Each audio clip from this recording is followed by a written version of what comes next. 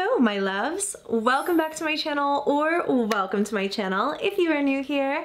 Hi, hello My name is Loey. Are you a big amusement park buff? I personally am a lover of Disney and I go to Universal Studios here in California quite often as well. It's not even that I seek like thrill rides like roller coasters or spinning teacups or those big rides that lift you up and then toss you back down really fast. I'm not even really in it for the rides most of the time. I love theme parks because of the atmosphere and big theme park owners like Disney and Universal have all the money in the world to take you right out of your reality and pluck you off into a beautiful, magical, whimsical world filled with their IPs where you're surely going to give them lots and lots of money.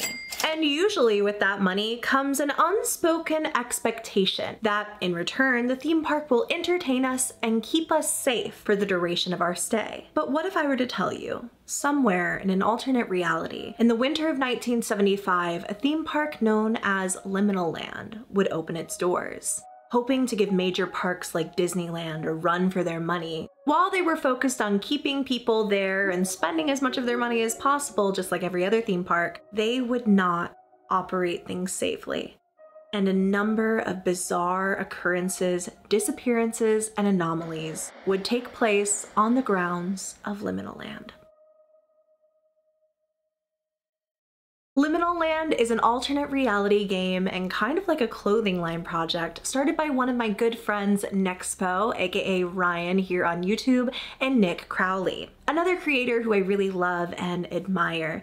And the two of them have gotten together to create Liminal Land. Most of the story takes place on the website, visitliminalland.net which serves as a bit of an archive and hub for all things liminal land. Buckle up those seatbelts because it's time to take a road trip to Liminal Land. When visiting liminalland.net, we have a couple of different pages to go to, including home, attractions, accommodations, archives, gallery, intervention, about Liminal Land, and gift shop. If you're anything like me and intervention caught your eye, clicking on this takes you to a page with a lock and I don't know the password. Apparently it used to be one thing, but now it has changed. And as far as I know, nobody's getting into it right now. But I think that means that more is probably to come. So maybe the obvious next step, or maybe it really should have been the obvious first step, is visiting About Liminal Land. The About page reads as follows. Liminal Land opened its doors in early winter of 1975. Destined to become one of the grandest amusement parks in the United States, Karen Corporation set out to push the boundaries of what it meant to provide immersive entertainment.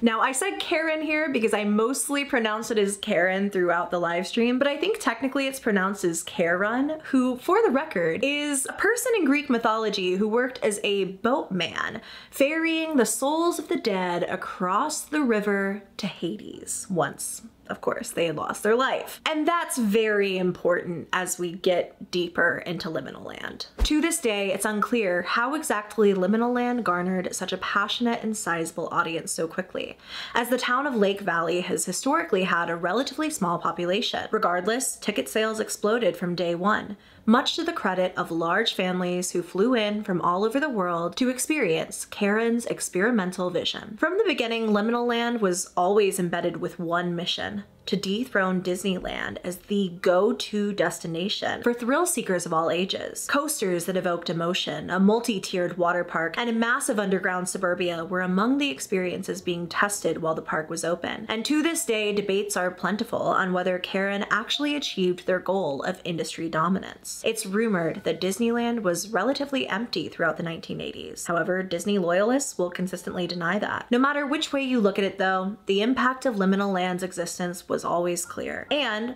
at least for a brief while, it appeared that the park wasn't ever going anywhere. Liminal Land took up its residency in Lake Valley, New Mexico, which wasn't a particularly robust little town. And according to the About section, surprisingly, very little news coverage came out of Lake Valley during Liminal Land's tenure. Parkgoers seemed avid to serve as test subjects for their experimental rides, and it felt like no one ever batted an eye. Regardless of the numerous accidents that took place over the years, there was never a single investigation, audit, audit or inspection ever credibly done. What Liminal Land shrouded as anomalous events were simply tarped off for a day and reopened thereafter with not a single word about them for 14 years. 14 years. The park operated in this bizarre manner.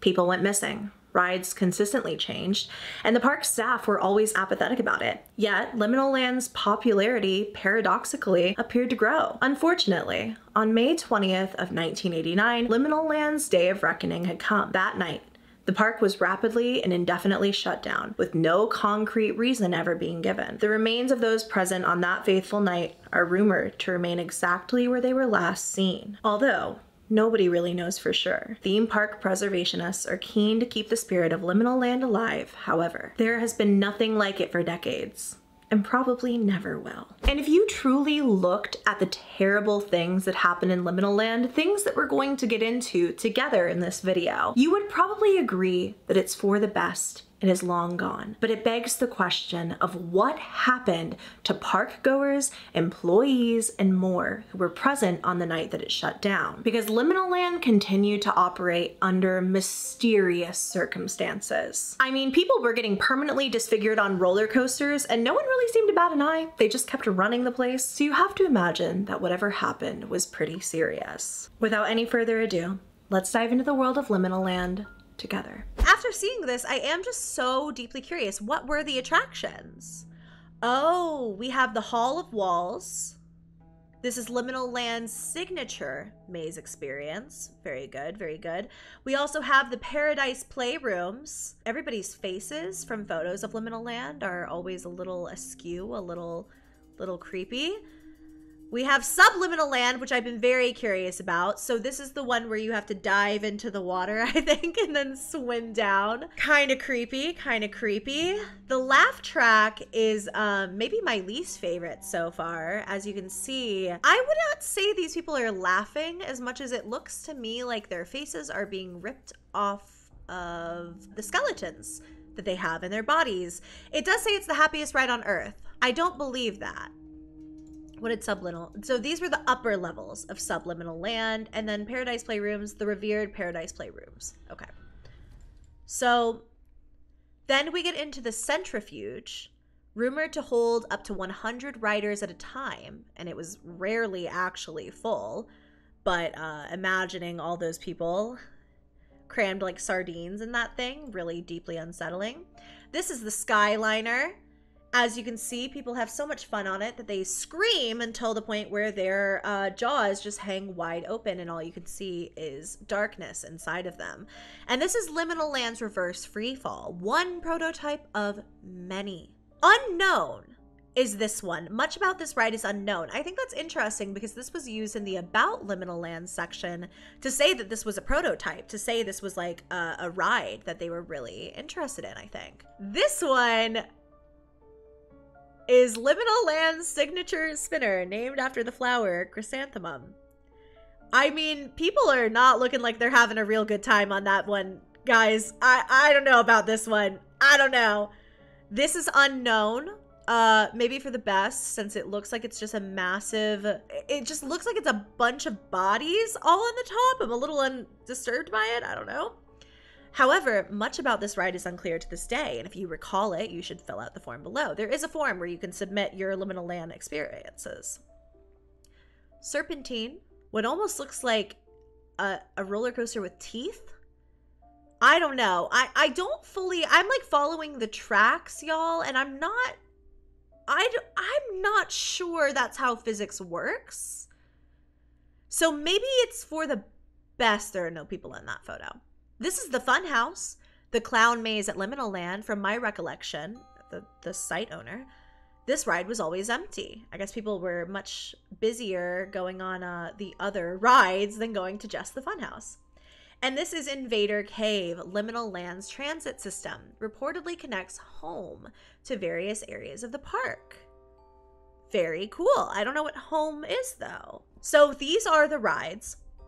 There's also this form where you can fill out uh, and I, I, think probably get like some some secret email stuff uh, maybe or just I'm, I'm not entirely sure what the email uh, is used for but it says that it's for anyone who has a recollection of a prior visit to liminal land to share their experiences. If we go over to the accommodations page, we see welcome home. So this must be the home that they were referring to in the attractions. Okay, so this is probably where the people are staying. This is where they're staying, and then that transit system is what connects this part of the park to the actual rides. One of the finer creations of Liminal Land Park came with the creation of their flagship accommodation, the Holistic and Opportune Mutual Experience, or HOME. The home project encompassed a sprawling underground suburbia, perfect for families who traveled from out of state to experience liminal land for themselves. Oh, I hate the playroom already. Built from the repurposed bones of the Lake Valley Observatory employee housing structure, the site once housed the facility's clean energy workers and their families. At the time, creating one of the largest underground communities in existence. Upon its opening, Liminal Land aimed to celebrate this sense of community by transitioning Home's purpose away from employees and geared towards park visitors, many of whom felt overwhelmingly comfortable while inside due to its illusory nature. The sensation of homeliness was the sole intention behind the project, as Karen sought to keep guests inside the park for as long as possible in hopes of maximizing profits. Because of this goal, Home would be the only in park hotel offered to guests, reportedly containing around 10,000 concurrent operational rooms at its peak, spread out over a handful of square miles underneath liminal land. 10,000 concurrent operational rooms is a lot of rooms, which does make me wonder was that really what home was being used for? Because are there 10,000 families coming to the park to stay there? Are there 10,000 families coming like per day? I don't know. So you can kind of see like the map of where exactly liminal land was versus um, the rough approximation of homes size relative to liminal land. Okay, so it really was quite large. That's crazy. Some areas are rumored to be unexplored to this day. Blending 50s inspired decor with modern cues from the 1980s, Home was a marvel for its time. And due to the intrigue and raving reviews surrounding it, Karen would begin selling units in 1981, fulfilling their goal of keeping their patrons on park grounds for as long as humanly possible. So, not only are they uh they're they're coming in, they're selling the units in hopes of keeping people there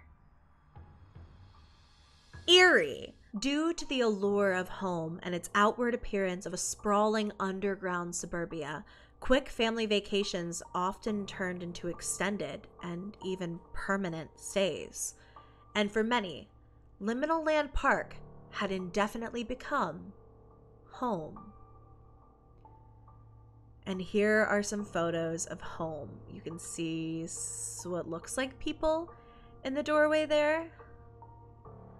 These creepy, creepy spaces. This is like so backroomsy. Oh, the kitchen is amazing, kind of though. Wow. Man, staying at home could either be really good or kind of scary, I guess, depending on your room. But people liked it so much they wanted to stay. They loved home. This one has a crib. I guess there were babies being raised at home maybe not the best thing I've ever uh, heard before. I don't love that babies were there. This is a cool little indoor garden. I kind of love that. It's giving me Animal Crossing vibes a little bit. Oh, here's a patron of home. I, I wonder if, judging by this person's appearance, they have not left home in a very long time. You can see there's like long hallways, lots of rooms. They have 10,000 of them, and they all seem you know, somewhat unique in their presentation. Big pink closets. Oh, good, there's baby rooms. Rooms for many babies. Don't love that, actually. Why why are there so many? Why are there so many in that room? Who's to have that many babies? Oh, what is that crawling from the ceiling? Is that hair? Looks like hair with eyes. Wow, these rooms are really something else. Oh, as you can see here, these are some residents of home that maybe haven't left in a little bit too long, getting a little cabin fevery. The bathroom pics are just throwing me for a loop because you'll have the nicest, like, look at this beautiful red kitchen, and then there's the bathroom. It looks like you're in a jail cell. like, terrifying. Man, these photos are incredible. Imagine staying here. Ugh. And they just go on and on. There's so many spaces that you can rent. I mean, there were 10,000 rooms. So you could lose yourself here in Liminal Land and be home forever. Now, when we go to the archives, this is sort of where things start to get interesting. Uh, it, it gets a little weird here in the archives.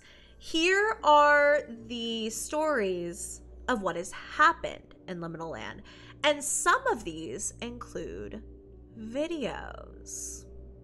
So, we are going to go all the way back to four. And the very first of the post from the archives, circa 1977, is the happiest ride on earth. So we have this image of the laugh track, I think is what that roller coaster is called. And it says Karen Corporation's first foray into experimental roller coasters. The laugh track utilized specialized restraint compressions to evoke uncontrolled laughter during its eight minute runtime. The potential for asphyxiation was still being studied, although strangely, not a single rider had filed a complaint during its brief run.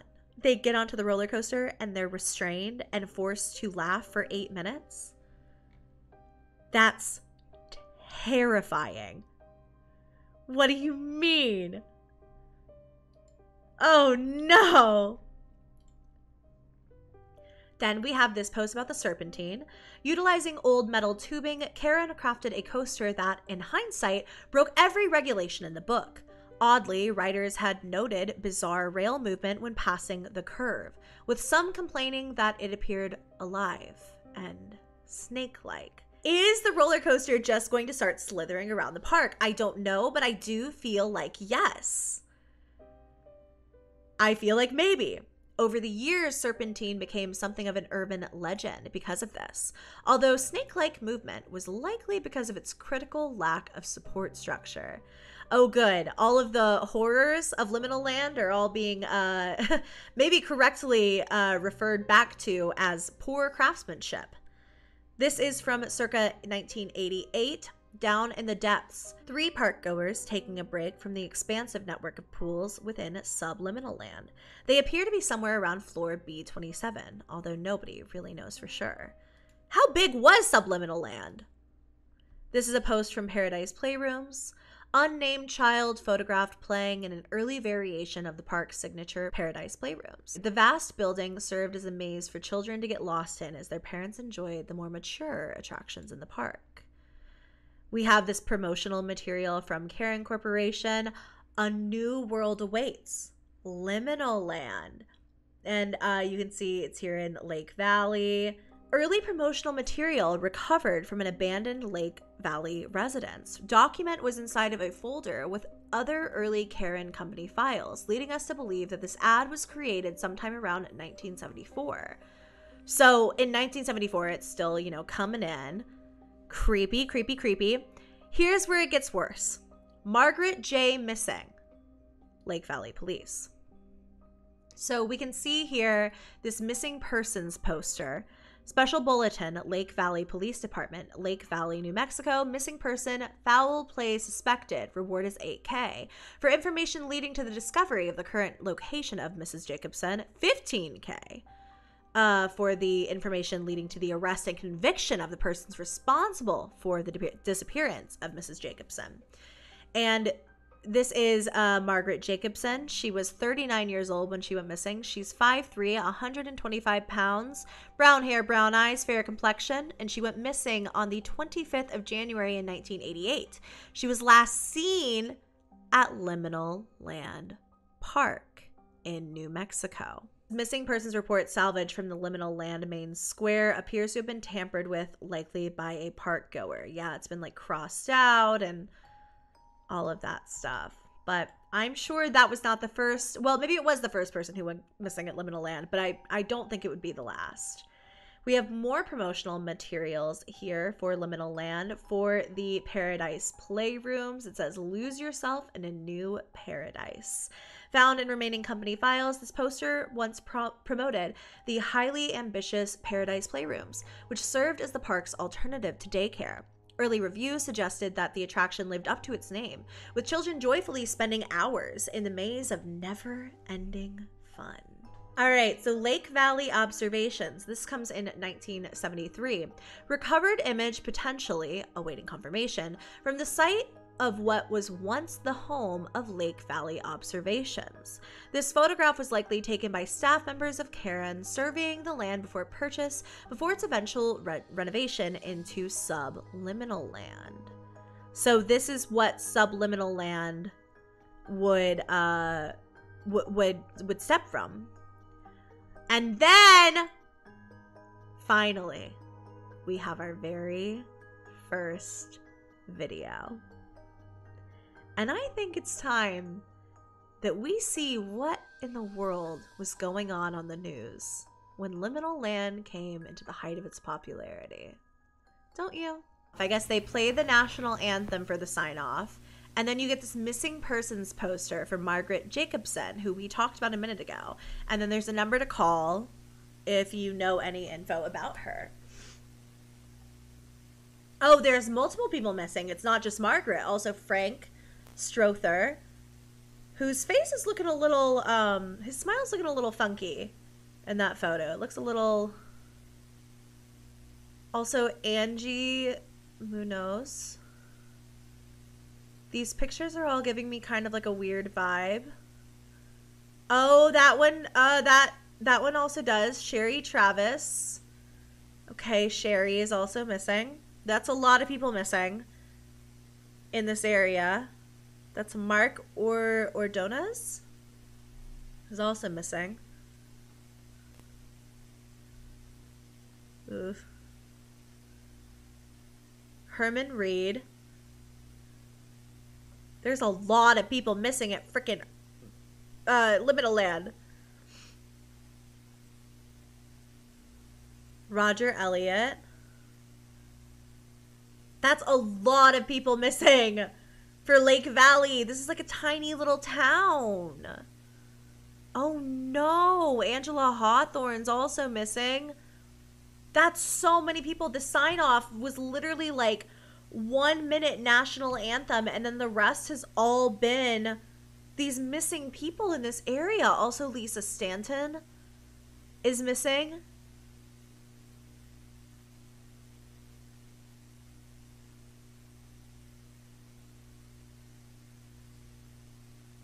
is that it i can't tell i'm scared i feel fear they might have literally left it running for longer because it's like it's like there might be more in the future. What? That's so creepy. We also have these other videos on the Liminal Land uh, website on the Liminal Land YouTube rather, but we're to keep going through the archives and I think all of them kind of like come through as you scroll through the archives. So we have two promotional materials for home. Let's start at one and then do two.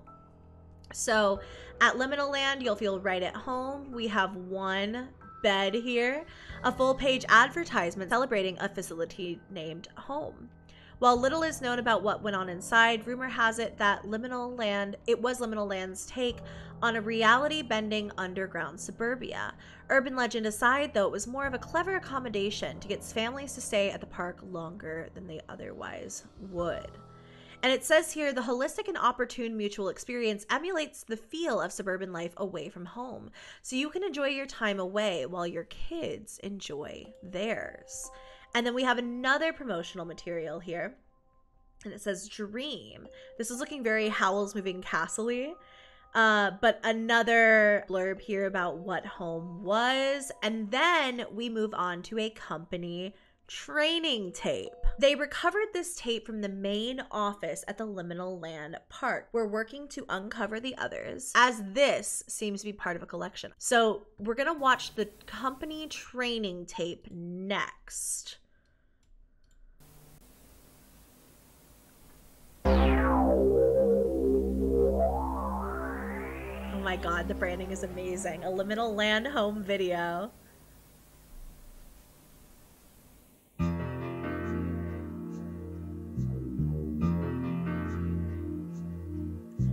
Welcome to Liminal Land.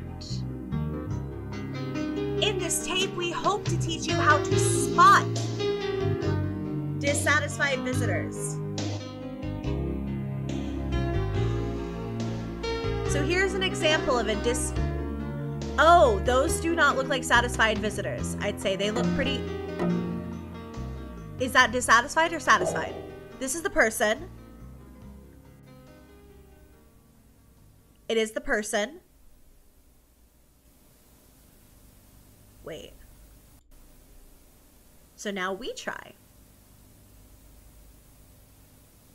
Look at the photo.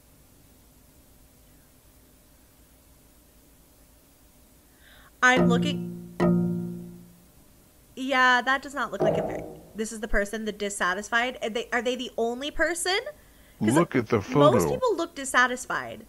That's the person, definitely. That person looks very dissatisfied. That's that's a dissatisfied kid if I've ever seen one. Yeah, yeah, I got that one right for sure. The other one, not so much. Look at the photo.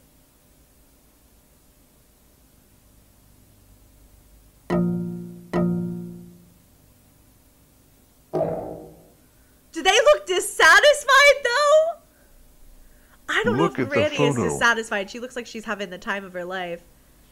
Um, maybe the girl in the front. Oh, that's a dissatisfied person. Wow. See, I don't think I, I don't think I know who's dissatisfied and who isn't. I'm, I'm getting some of these wrong. Look at the photo. This will be my my picture though. Wow, they all look pretty satisfied to me. Actually, I guess not. The park is. I think it started spelling alive. I think it started spelling alive. oh my god, I have chills! Ew!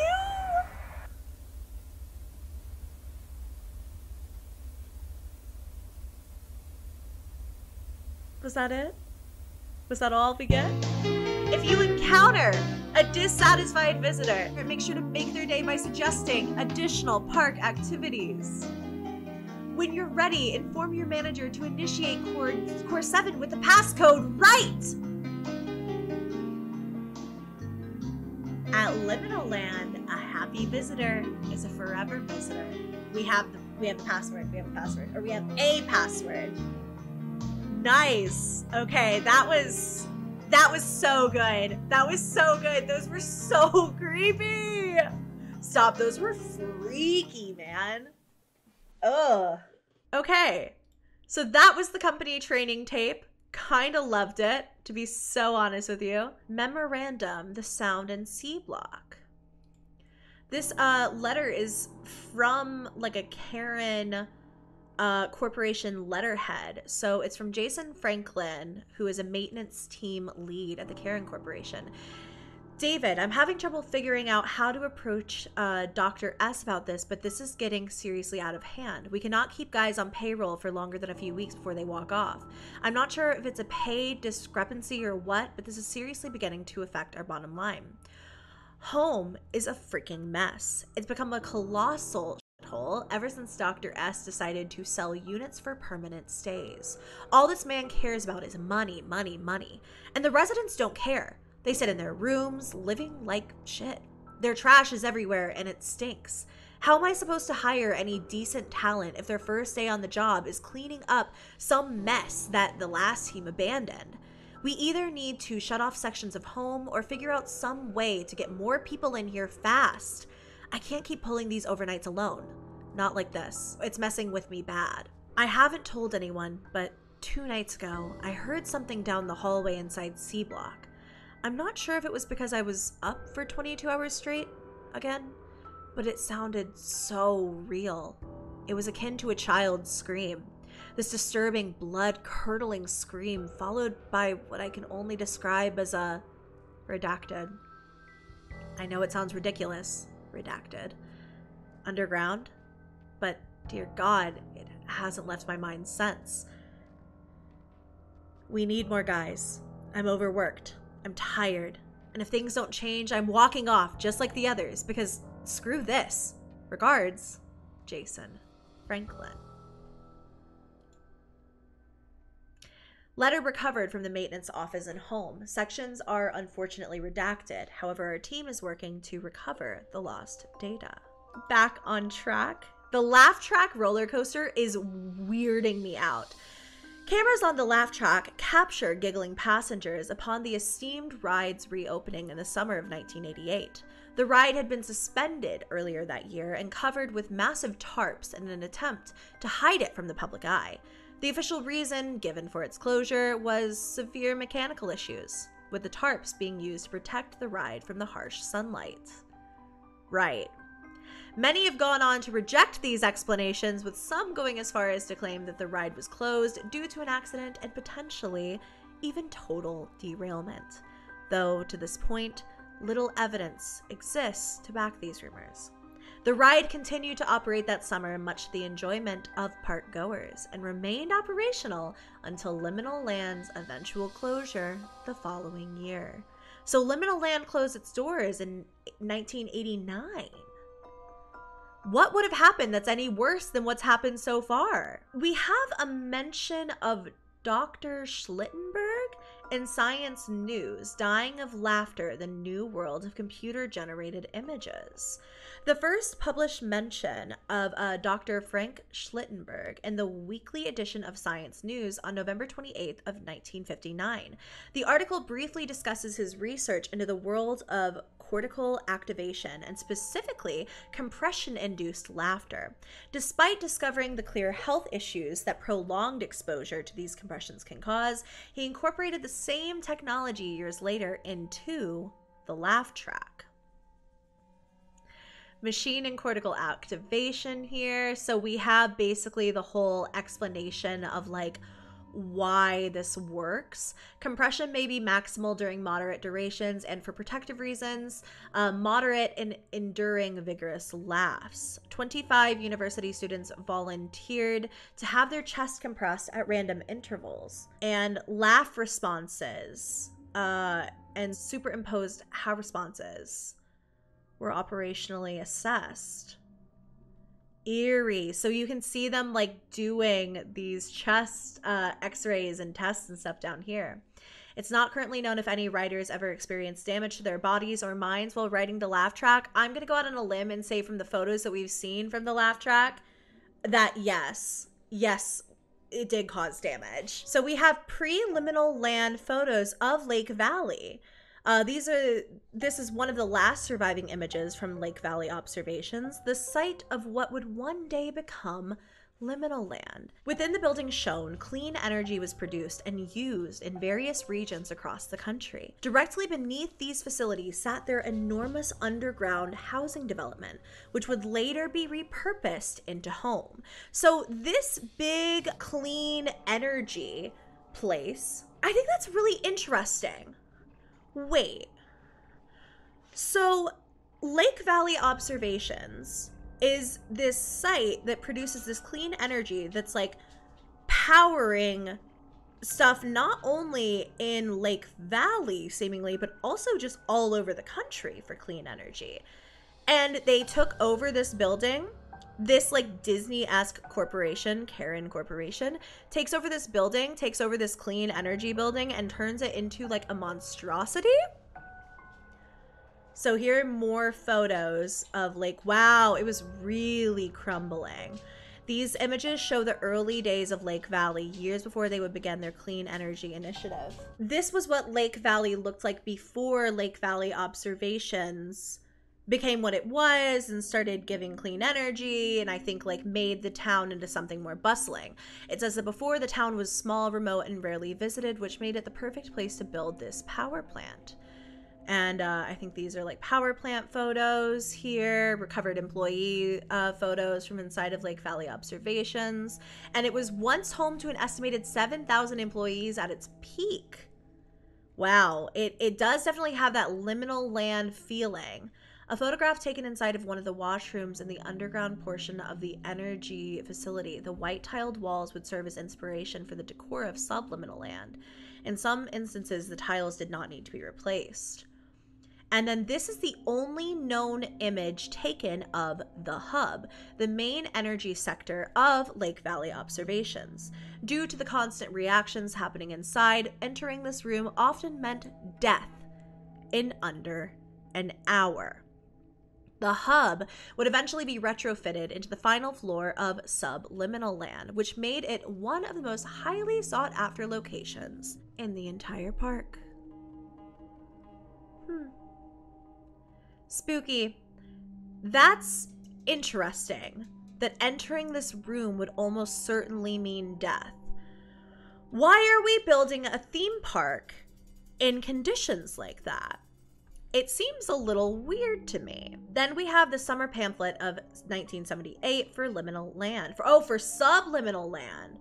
Introducing subliminal land. A whole new world underneath your feet. Interesting.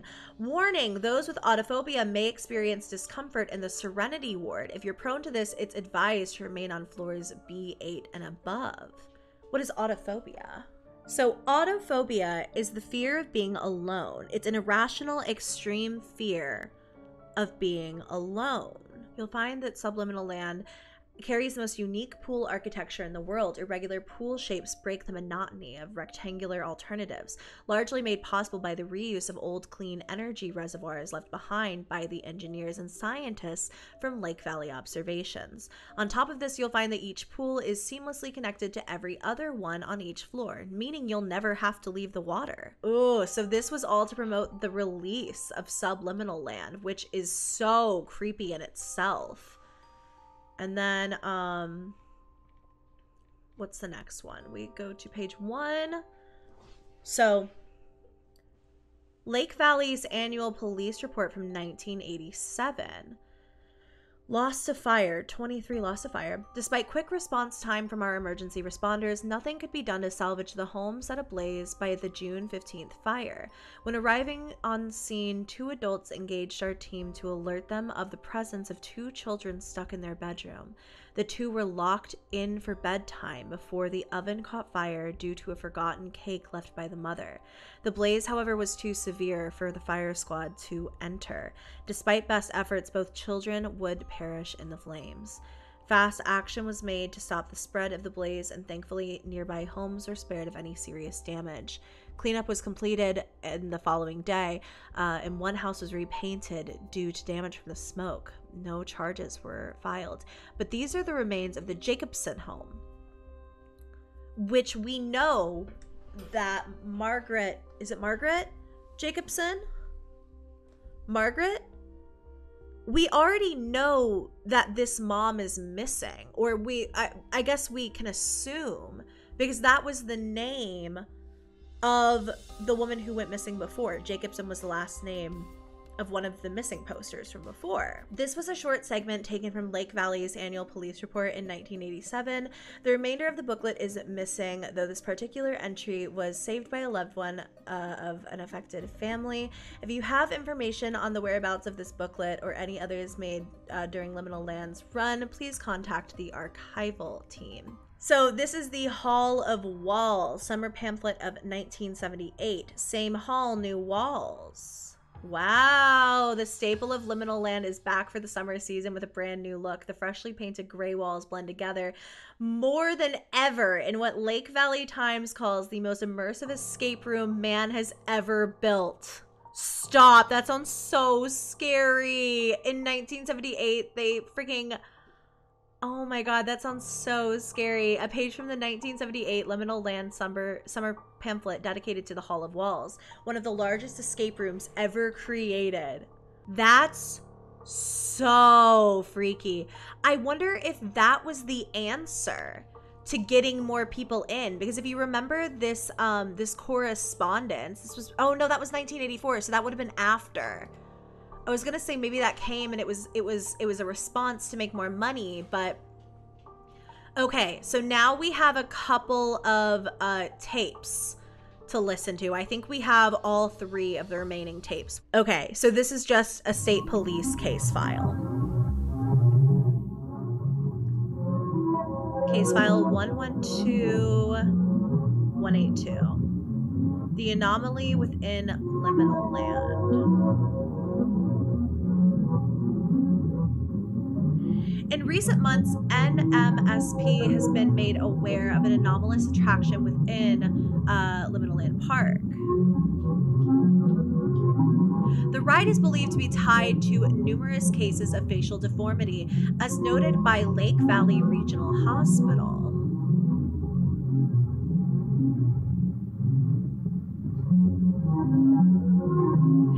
LVVT has declined to cover these cases on local television, as visual depictions are not suitable for a general audience.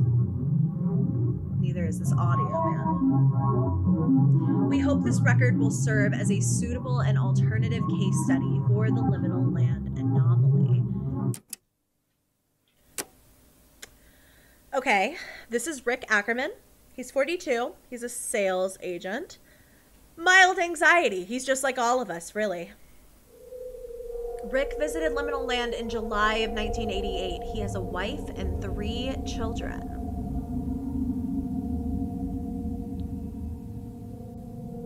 He allegedly snuck away from his family to ride the Liminal Land anomaly alone.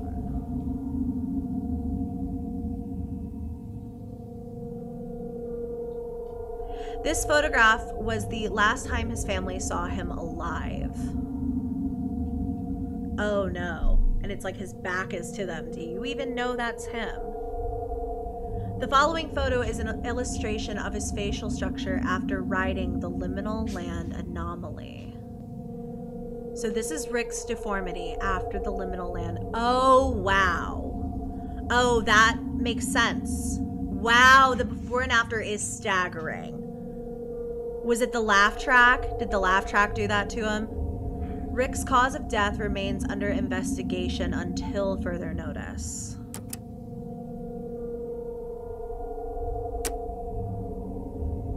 This is Lena Sorensen. She's 44 years old.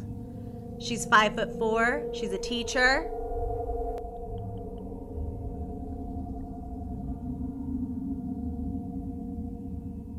Lena brought her first grade class to Liminal Land in winter of 84. That's the class.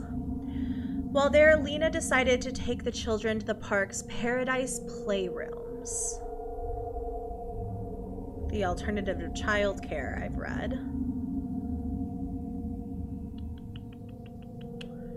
Uh, Lena remained with the children for seven minutes before she suddenly left the building through the rear exit. The children were left alone for eight hours and never noticed she left?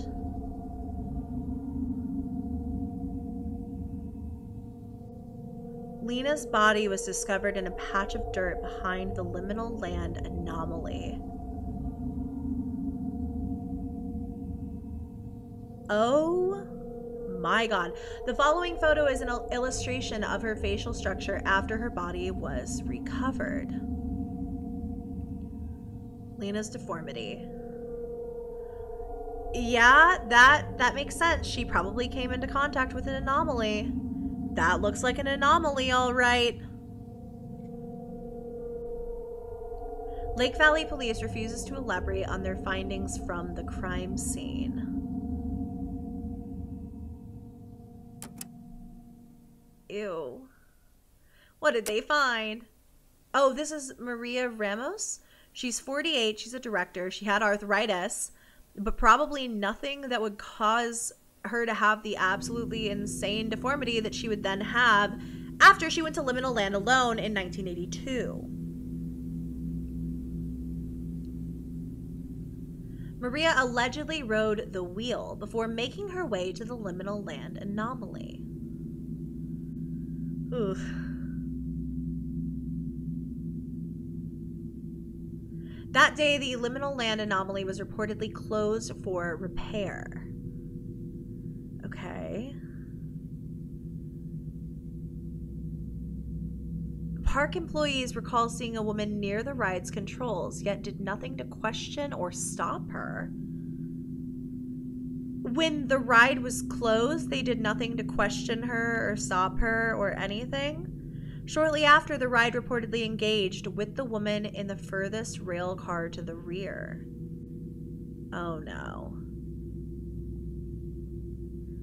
The liminal land anomaly was allegedly closed due to a faulty failsafe, causing the ride to run multiple times per session.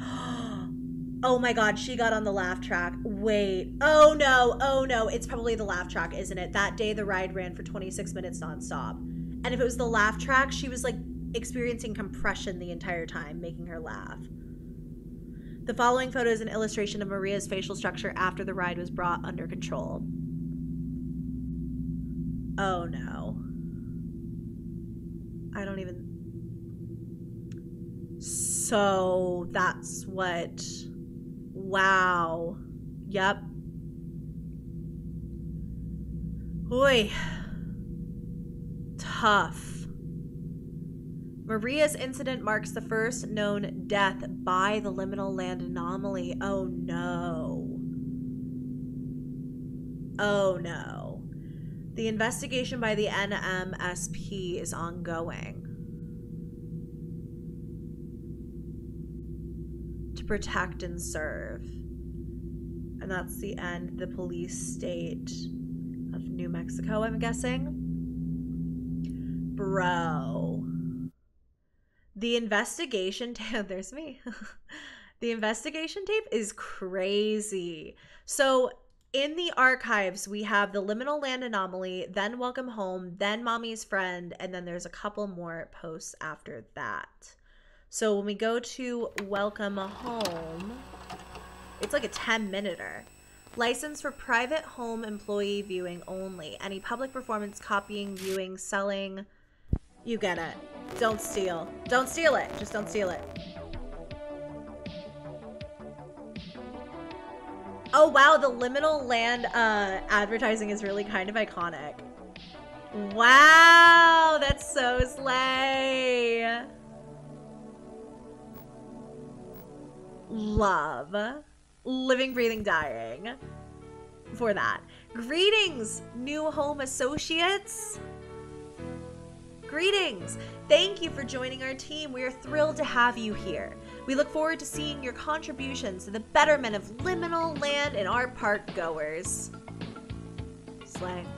In other words, welcome to your new home. Why is it red? Why is home red? So, what is home? You may be asking yourself. Well, home, as you see, stands for holistic and opportune mutual experience. The Home Project uh, strives to encompass a feeling of comfort and homeliness, long associated with the American suburbia. Simply put, home is where we cater to our guests' desire to stay in the fun for as long as possible. We absolutely must maintain the stability and image of home to ensure our guests stay as long as possible. Must stay as long as possible. As you will see momentarily, we have strategically placed home slightly ahead of the park's entrance. Iconic. Love. The entrance of home. Slay. Okay. Wow. Nice. So, uh, home is an opportune place to stay. Here, our guests can venture into the park and access all of our esteemed attractions right from the starting line. Now, you might ask us, doesn't home seem rather small and far away from a lot of that park? Well, there's more than meets the eye, lying just beneath the surface. Here's a visual comparison between the total area of home residencies to the overall size of the park. Home is huge! Home is massive! Since home is situated directly beneath the entire park. Let's overlap the two and zoom out so we can see more accurately showcase uh, size. Look at this. Incredible. There's a lot of home. Oh, wow. It's... Wait, Liminal Land is so small. Is it just shrinking to nothing? Is it just going away? Is that what it was? Warning, do not... It is very important that we spot and correct any sort of mess or inconvenience thoroughly and swiftly. We do not want our guests to feel uncomfortable and wish to leave permanently. It's time for you to use what you've learned here so far. Try to spot the inconvenience in the following image. All right, we're ready, baby. Take us to liminal land. Do we see it? The inconvenience? Is it? No, I, I don't know. What is the inconvenience?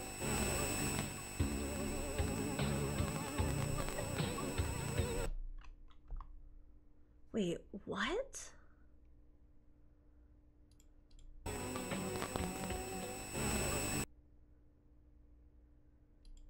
Okay, I can't I, I can't read it. I can't read it.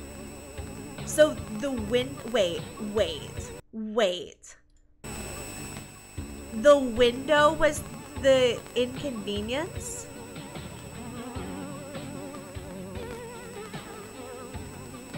Let's try this again, shall we?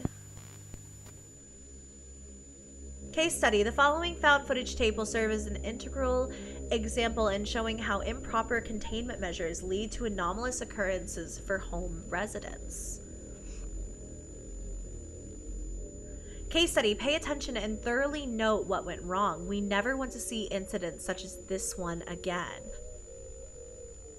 No, at the end of each segment, a message will be briefly displayed. Each message will indicate one or more of the following what to avoid, what kind of behavior, yada, yada, yada, like what we're prohibited from doing. So, this is all supposed to be like a these terrible things happened, and now we have the opportunity to correct them, seemingly, right?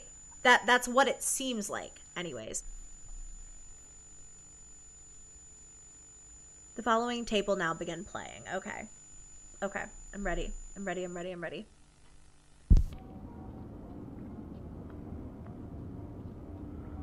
Just walking down a tunnel.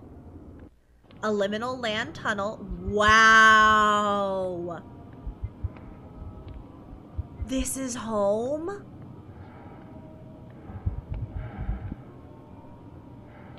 Oh my god.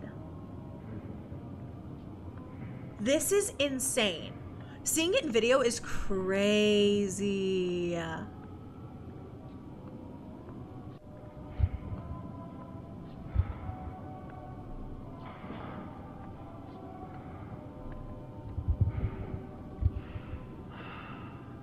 Okay, so that looks like the entrance to Liminal Land. Wow, there's like nobody here talk about back rooms. This is the back rooms. Like, this is the back rooms. The most back rooms of them all.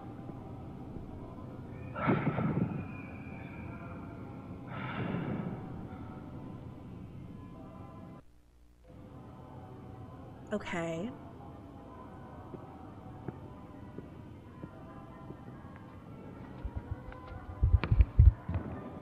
So just checking out a house. You can hear music, sort of.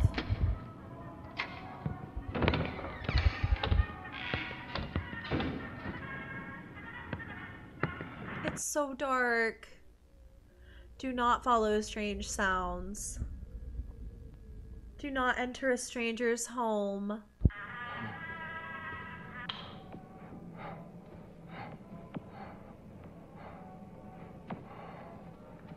There's like a couch cushion missing. Wow, this looks insane. Holy cow.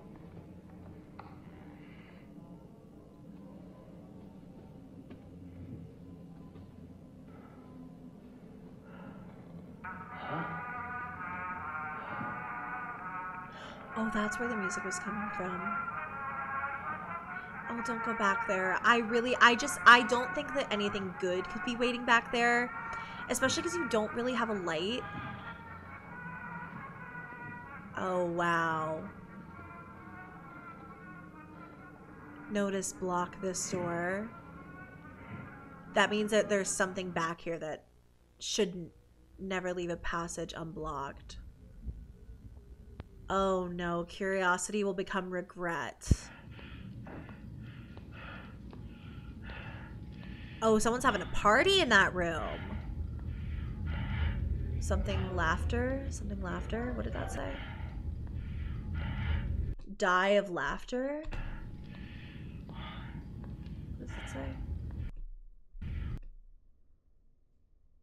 Laughter? I don't know. I don't know what it says.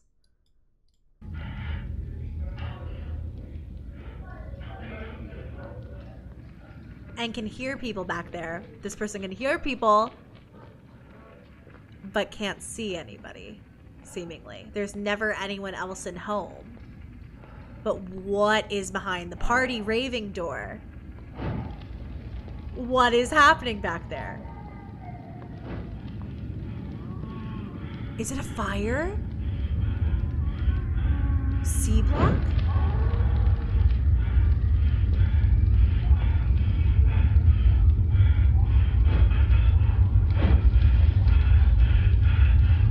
Wait, it's. Oh my god, it's definitely a fire. It has to be a fire. There has to be a fire. Do not. Just do not. Do not go in there. Do not go in there. Oh my god. Oh my god. Oh my god. This is the maze. Stop. This is the Hall of Walls. This is the escape room in Liminal Land. He's not getting out of there.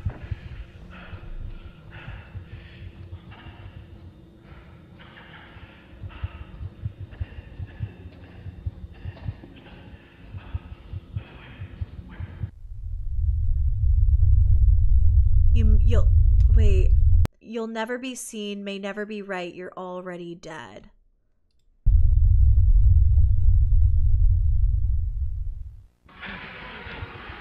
Oh my god, the camera battery is dying!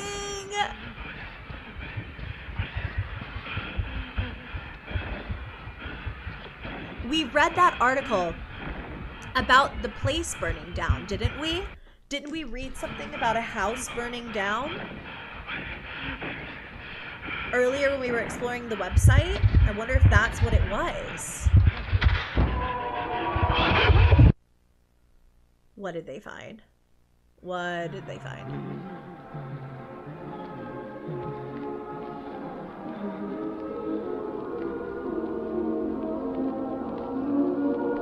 Those who seek departure will lose themselves. We hope you learn from others' mistakes. We hope you have a pleasant day here at Liminal Land.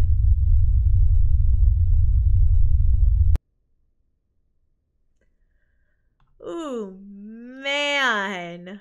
And then we have investigation tape, mommy's friend, to look at as well.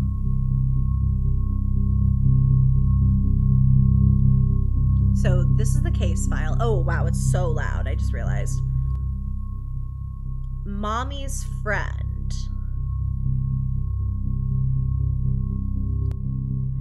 The NMSP continues their investigation into strange activity uh, happening around Lake Valley, New Mexico, is what it said. Bunch of telephone booths. Last week, detectives received a tip directing them to the Munoz residence.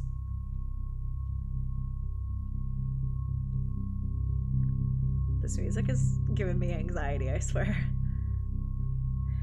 Allegedly, Sofia Munoz has been acting increasingly erratic since her daughter disappeared under unknown circumstances, and we saw her in the missing persons um, video. You guys remember, obviously, there were all those missing persons videos that we saw. And I'm assuming that's her mom, Sofia Munoz, yeah, age 54. Sophia Munoz uh, alleges that her daughter was last seen in her care at 504 Dorado Street. According to her testimony, she ran away from her home in the dead of night.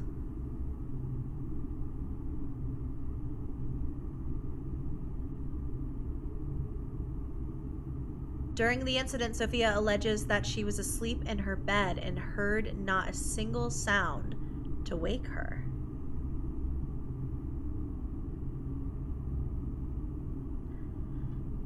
So, detectives have been given no reason to suspect that Sophia is lying, obviously.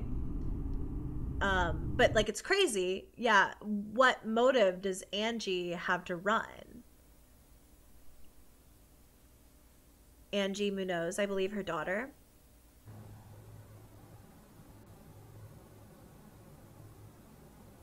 During the most recent search of the Munoz home, uh, drawings from the missing daughter were discovered. Mommy's friend. It's a story called Mommy's Friend. Oh boy. Okay. The discovery prompted an immediate manhunt for Sophia Munoz, yet she has fled her home. Why would she have fled? This is the story. I guess we're about to find out. Mommy's Friend, drawn by Angie. incredible, incredible artwork from Angie here. Uh, terrifying that this would be the last thing that Angie. This is mommy. This is my mommy, not just any mommy. It's, this is my mommy. Oh boy. Mommy takes me everywhere. This would have been like the last thing this kid drew before she just disappeared. Uh, Lemon Land. Mommy take me to Lemon Land. Honestly, real. Lemon Land is a much better name, too. I was so excited. Oh man. Oh, this poor kid was just excited to go to Lemon Land. But then mommy made me sad. At Liminal Land? What did she do? Mommy taked me in this house. Inside, there were more houses. So, her mom took her to the house, and inside, there's more houses. Mommy looked tired, maybe, is what that says. I don't. I'm not sure what that says. Mommy said she was looking for a friend. Probably within home. Follow me. It's okay. But now mommy is just like a bunch of scribbles. Maybe what was being drawn was too scary for her to finish. So they came up to a door in the house with more houses. They came to a door, and inside was a mommy's friend. And then there's a bunch of stuff crossed out.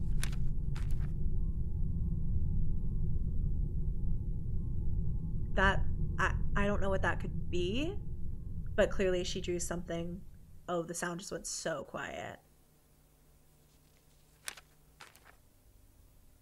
mommy's friend has horns. And there looks like there's fire everywhere. That cannot be good. Is there a demon in liminal land? Is that what we're being told that there's like a demon in liminal land? Oh no. We have reason to believe that Sophia Munoz was involved in the disappearance of her daughter, Angie.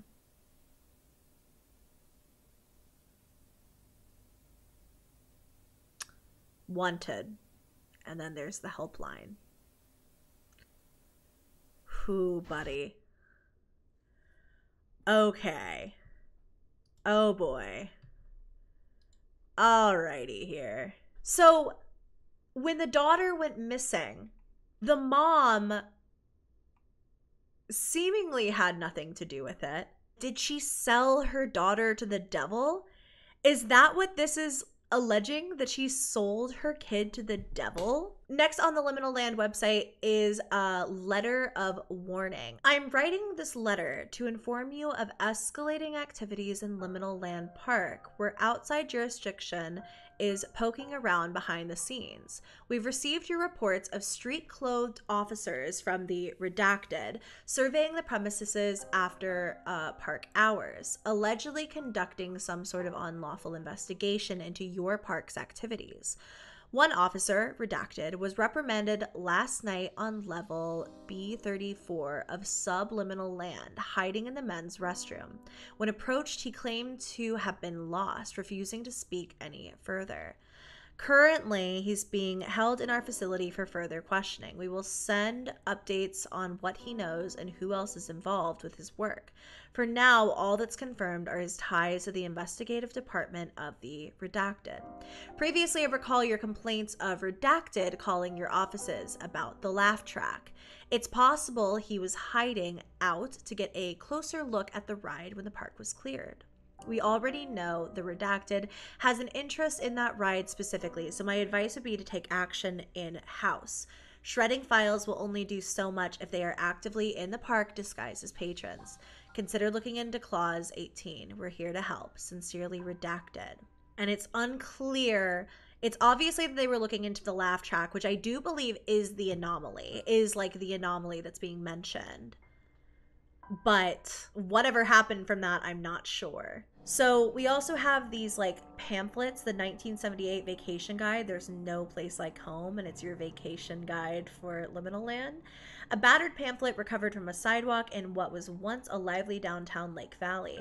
Branded with the uh, Charon logo, its visuals exemplify everything the company consistently pushed for a packed park, the allure of mystique, and visitors' inevitable absorption into the liminal land compound. And then promotional material come home.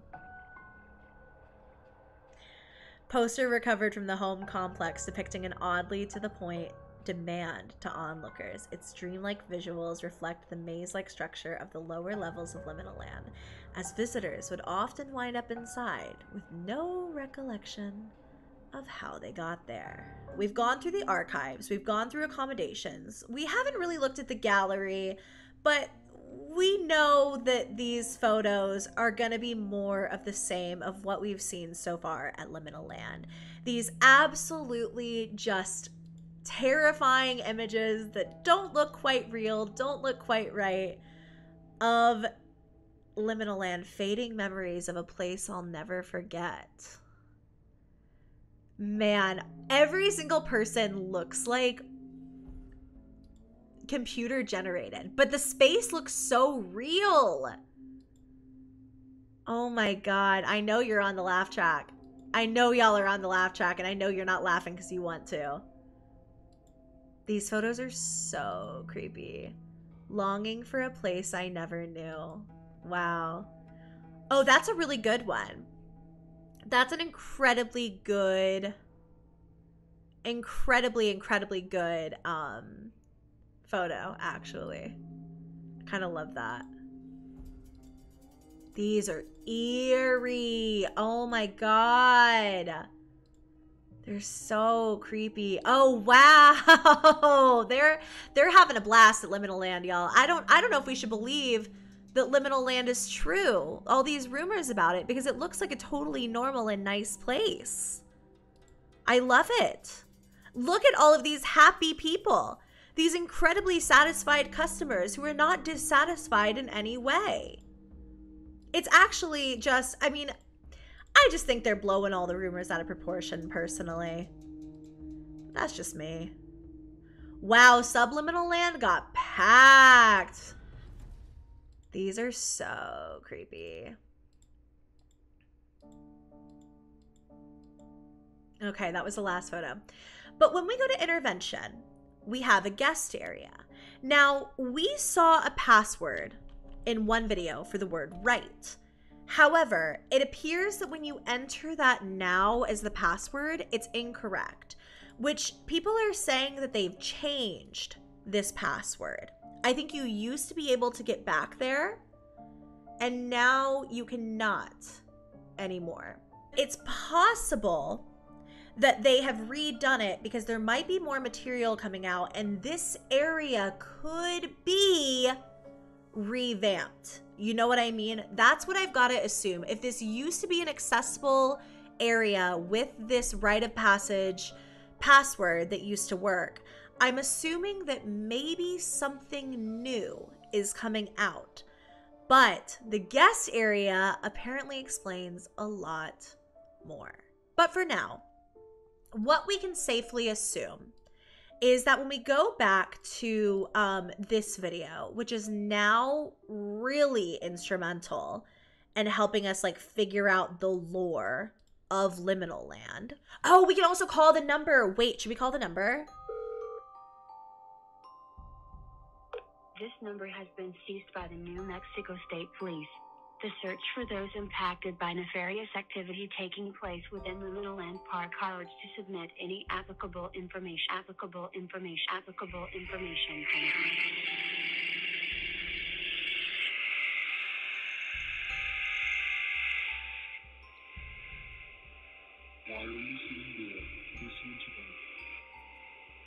Why are you here? Why are you here?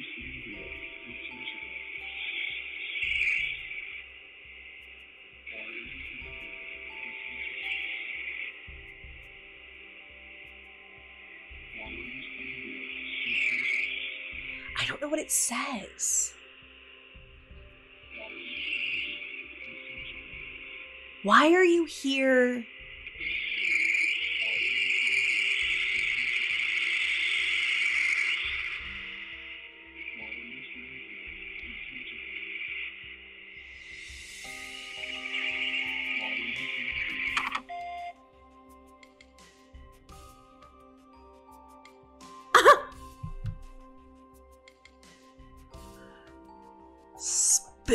Spooky. Ew, that's so creepy. By reapproaching the LVVT Channel 5 sign off now, we might know a little bit more about the people who went missing. So, Margaret Jacobson, I think her home burned down. She was acting really weird when it happened. I'm not sure who Frank is. Angie, we know her mom met a friend in home. That friend was most likely the god Chiron, who helps to pass people from the land of the living to the dead. He's like a like a like a ferry boat person. We believe that Angie's mom did something bad and like sold Angie to this god or demon or whatever is clearly lurking in the halls of liminal land. In terms of Sherry Travis, I don't know anything about Sherry. Mark, I'm not sure. Herman Reed, I'm not sure. So a lot of these we still don't know. And I think it's really telling that there's all this extra space at the end where there's no one missing. And I think it's because, like, they're leaving space for the future victims of Liminal Land. And then the sound in C Block, we heard from Jason Franklin that there was this blood curdling scream in C Block. If you watch the video where they go through home, that fire that was found here, um, the fire and the weird stuff happening was, it, I think, at C Block. I think in front of the door, it says like C Block. Doesn't it? Yeah, you can see up here, it's like C Block. So something very clearly happened in C Block. Something really bad, and I think that it's supposed to be off limits. But to me, this almost looks like hell. Like, is there a portal to hell in Liminal Land? Is that what Liminal Land is? Is like because of this clean energy that's being stored in this facility and what this uh, used to be used for was to provide clean energy. Is there somehow a portal to hell in liminal land? I feel like yes. But that all being said, you guys, I think that's as far into liminal land as we are going to dive for now. I think that this is a fascinating project that's so clearly um, just deeply beloved by the creators, Ryan and uh, Nick. And I'm so excited to keep up with it and do another one of these streams when there's more information on the Liminal Land website and more videos and stuff to look at. But for now, that's where we leave Liminal Land. Let's get back in the bus. Some of you might be a little deformed. We might have stayed on the laugh track a little too long. It is what it is. Let's just go home. Let's just go home. We've had enough of Liminal Land for one day. Let me know your thoughts and theories about Liminal Land so far in the comments down below, and hopefully I can bring you an update when there's more to share. I know that we're getting a bit spoiled in the world of scary storytelling and unfiction series like this. I know that probably by the time that you're watching this, the Welcome Home update has already come out, so we have a lot of creepy stuff to get to. That's gonna be it for me, but before I go, I wanna say a huge thank you to our subscribers who are members of this channel. If you want to check out the channel memberships and get extra exclusive content, including members only videos, now I'm doing weekly hangouts for one of my tiers. You can also help me decide on future video topics and so much more. You can click that little join button. It should be somewhere around the screen, probably next to the subscribe button we would love to have you. For now, thank you all so, so much for watching. And if you did enjoy, go ahead and give me a thumbs up and please subscribe to my channel if you haven't already. I love you very, very much and I will see you in my next video. Bye!